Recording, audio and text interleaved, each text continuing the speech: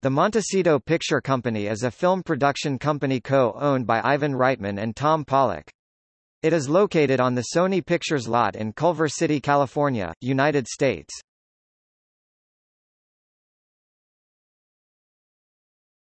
Topic: Films.